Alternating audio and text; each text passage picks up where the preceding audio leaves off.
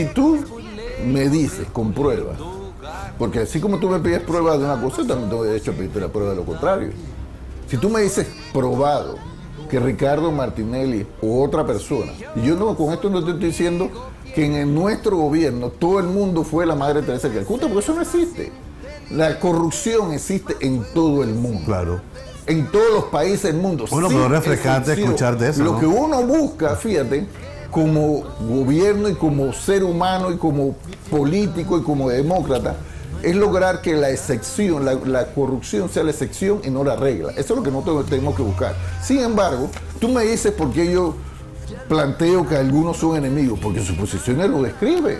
La posición Porque de si tú agarras y comienzas a repetir algo como cierto, que no es cierto, entonces tú te- sencillamente tú tienes una posición política porque además Alexis y compañeros que están viendo el programa y que los que están escuchando, por aquí hay gente que dice, no, yo no soy político, todos somos No, todos somos políticos.